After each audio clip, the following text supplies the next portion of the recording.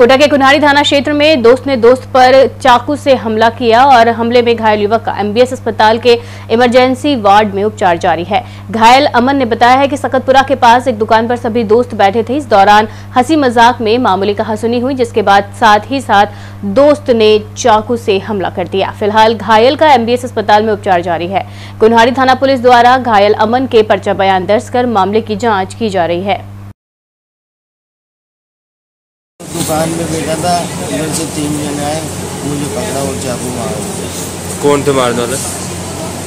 कौन थे? करण गुजर करण गुजर मनोज केवट प्रेम केवट। कारण कुछ पता चला? कोई लड़ाई झगड़ा हो पुराना? हाँ। क्या? पुराना लड़ाई झगड़ा नहीं है दोस्ती है वो मेरे दोस्ती है? हाँ।